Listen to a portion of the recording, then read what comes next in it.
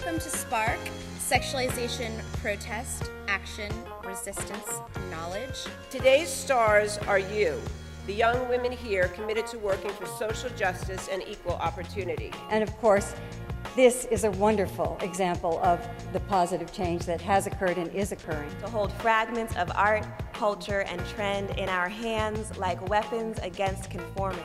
To learn about Spark and maybe participate in some way, I think would be very empowering for girls who feel the same way and want to encourage girls to become everything they can be. It took a long time for me to be comfortable with my self image because the media that's given to us is so full of these ideas of what women need to be and what women should be like sexy but not slutty, strong but not too strong.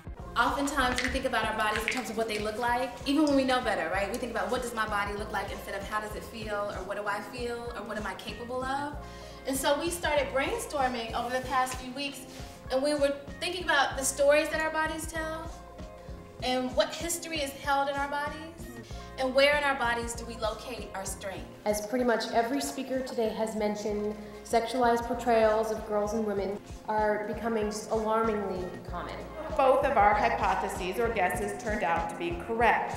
Those girls with highly sexualized identities had lower grades in every school subject we assessed. And media sexualization is linked to increased eating disorders, lower self esteem, higher rates of depression. I started collecting ads and looking at the image of women in advertising and talking about the sexualization of girls in the late 1960s. And people ask me often, they say, You've been doing this for 40 years, have things gotten better? And in many ways, they have gotten worse. Uh, the tyranny of the ideal image of beauty, the obsession with thinness, the violence, the images of violence, and certainly also the sexualization of girls and young women.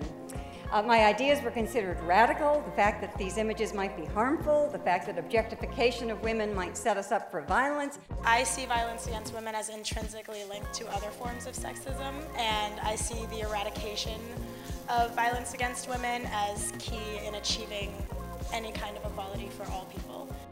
Digital chopping blocks put us up for slavery. Our aunties, aunties, addies are getting sold daily.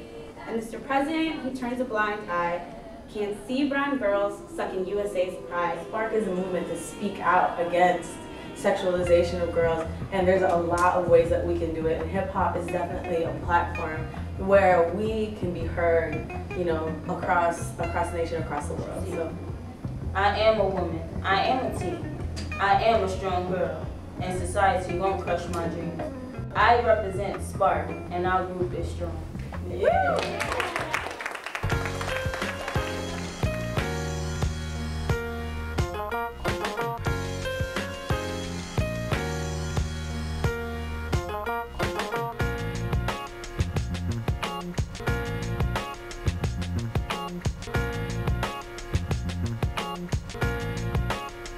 Passionate about this because we all grew up with it. We have to remember that when we pass a mirror and criticize ourselves, a girl is watching.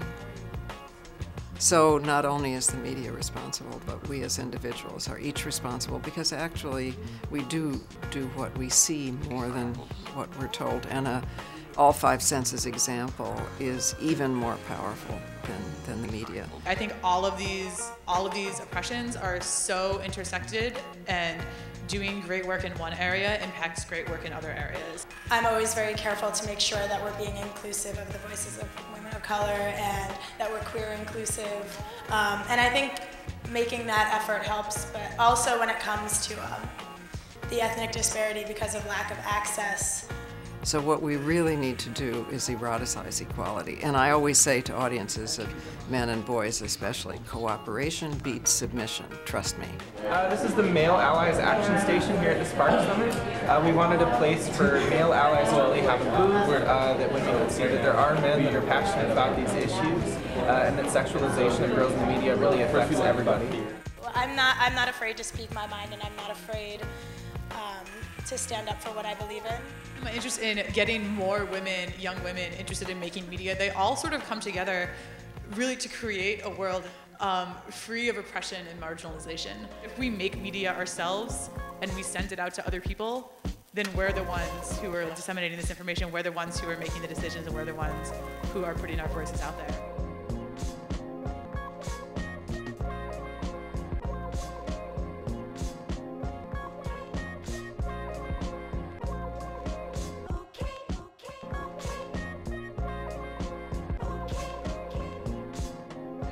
Artwork was about commercial land, so it's just based on um, the sexualization in the media, how they think you should look, what they think you should be buying.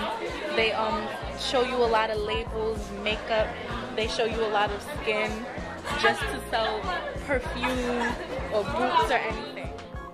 I really think we can make this change, and if all of us can start noticing and actively working, we can get to critical mass, we can affect the dramatic change that's necessary. And I congratulate Spark on their summit, and may we all take this opportunity to discover, take action, and jumpstart a movement for change. I am sparking a movement, one that will leave a mark on society's pavements and alter dark conceptions in need of a guiding light. The question is, are you?